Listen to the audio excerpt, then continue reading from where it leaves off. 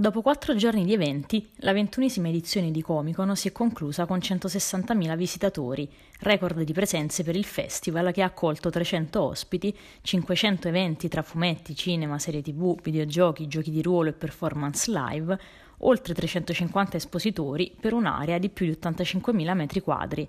Comic-Con ha proposto un programma ricco di contenuti, dai grandi autori del fumetto italiano e internazionale agli ospiti di cinema e serie tv.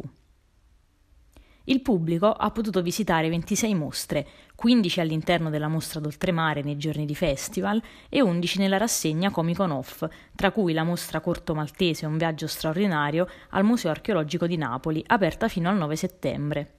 La sezione serie TV e cinema ha ospitato 20 proiezioni. Il premio Micheluzzi come miglior fumetto è stato assegnato a Super Relax di Dottor Pira il 67% del pubblico è arrivato a fuorigrotta da fuori Napoli, principalmente dal resto della Campania, da Lazio, Puglia, Calabria, Lombardia e dall'estero. Appuntamento alla ventiduesima edizione che si terrà a Napoli dal 30 aprile al 3 maggio 2020.